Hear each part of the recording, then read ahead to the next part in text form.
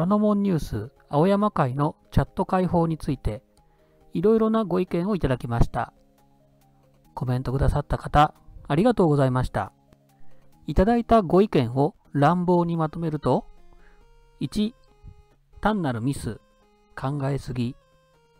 2、DHC テレビによる青山議員への嫌がらせ。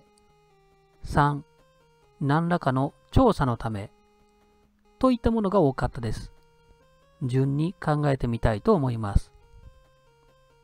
まず、1、単なるミス、考えすぎについては、個人的には意図的だと考えています。以前の動画でもご紹介しましたが、トロノモンニュース公式ツイッターに意見をしましたし、また操作そのものもそんなに難しくないため、意図的に残す以外にありえないんじゃないのかなと思っています。ただし、この説を取る人を否定するつもりは全くありません。個々人の考えを尊重したらよいかと思います。また、そうであってほしいとも願っています。2、DHC テレビによる青山議員への嫌がらせ。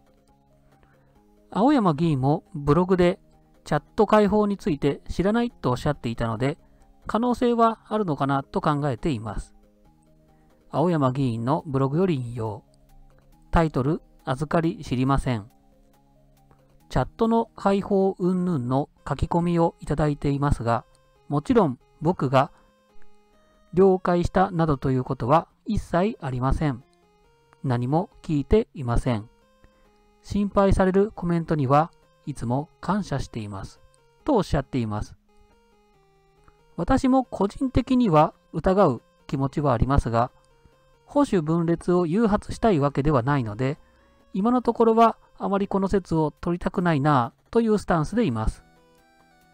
ただ、現 DHE テレビ山田社長と前社長の浜田さんの件は一度取り上げてみたいなとも考えています。3、何らかの調査のため。こちらについて今回は深掘りしてみたいと思います。まずは、青山議員より自身のブログで警察と捜査協力していることが示唆されました。2020年2月10日月曜日、虎ノ門ニュースより引用。ネット上でやっぱり凄まじいほどの根拠のない話も、しっかりした話もありますよ。でも、根拠のない話もものすごい勢いで伝播されてて、意図的なものもあります。どうしてもね。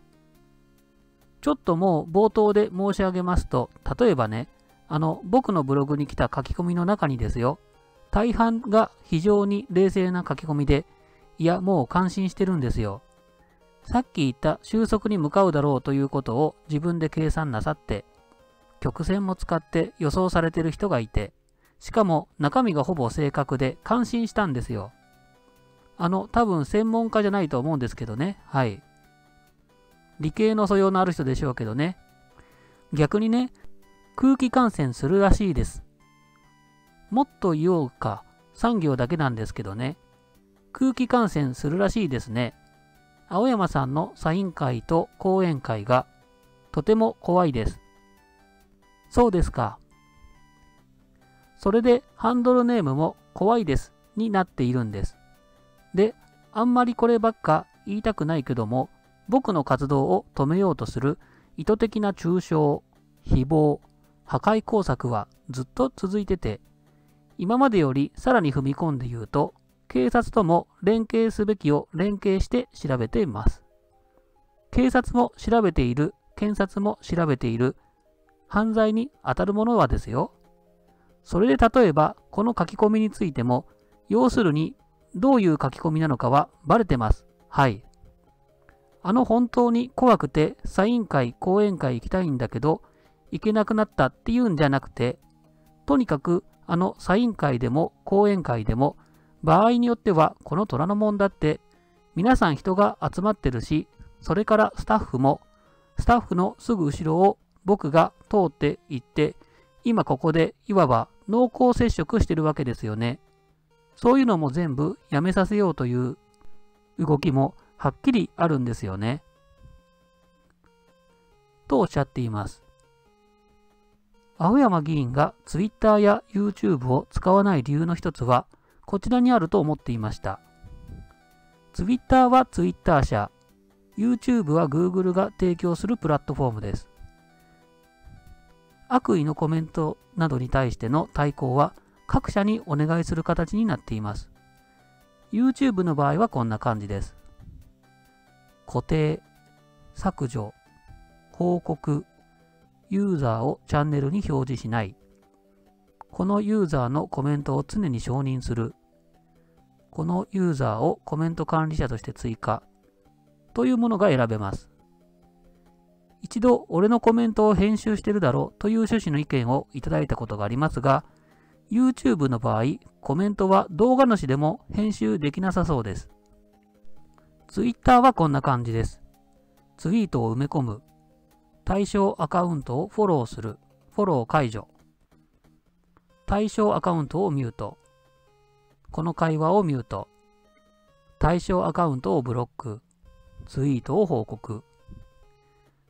Twitter もやはりブロックやミュートはできますが、相手の発言の編集はできなさそうです。武田恒康先生も Twitter 民の IP 情報の開示を Twitter 社に要望していると言っていましたが、あくまで運営のテリトリーということになります。ブログはそれと違い、こちらは私のブログのコメントを引用したものですが、このように表示されます。公開、非公開を選べるだけでなく、編集というボタンを押すと、投稿者の名前も変えられますし、発言の編集も可能です。そして IP アドレスも表示されています。青山議員は妨害が多いと以前からおっしゃっていましたので、あえてブログを使用して万が一に備えて個人を特定できるようにしていると考えられます。YouTube や Twitter へ IP アドレス開示請求は警察や検察が動くなどのよっぽどの理由がないと難しいと想像します。ただ、虎ノ門ニュースのチャットやコメント欄書き込みの情報を保存しておいて、何らかの事件等が発生した際に活用することは可能かもしれないので、今回のように一度開放して保存しておくということは有効なのかもしれません。4. チャット内容の確認。12月23日のチャットをスクリーンショットしていたんですが、全部で218ファイルありました。そのうち最初と最後の50枚を集計してみました。集計に主観が入っていると思うので、正確な数字とは言えないと思いますが、主に青山議員の肯定、否定を集計してみたところ、肯定120発言、否定44発言となりました。青山議員の会を見ている人だから当然の結果かもしれませんが、肯定の方が約3倍多かったことになります。また、否定的意見を言った人は、集計した箇所では23名でした。平均1人2回、1人で11発言した人もいました。肯定的意見は繰り返し主張する人は否定に比べると少なかったです。大雑把な人数比は100人対20人程度かと思います。これを見て私は、一時期ほどアンチは多くないと思いました。また、アンチが減った理由の一つとして、こちらも考えられるかもしれません。こちらはあるインターネット上で仕事の受注、発注ができるサイトですが、あるスポーツ選手の誹謗中傷の文章作成の案件があったため、その対応でこのようなことをしているようです。私は青山議員の案件があったと確認していないので、工作員説についてはわかりません。ただ、2019年4月9日以前は、こちらのサイト上で受発注できたことが伺えます。いずれにしても、例の騒動以降の反論や言い訳をせず、ブログや虎ノ門ニュースで粛々と実務に邁進する青山議員の対応の成果が出てきていると感じています。青山議員、今後も頑張ってください。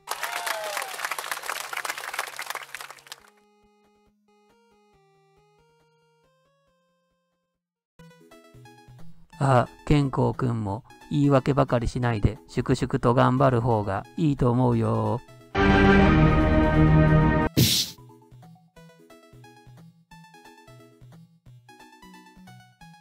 また一つお利口さんになったな。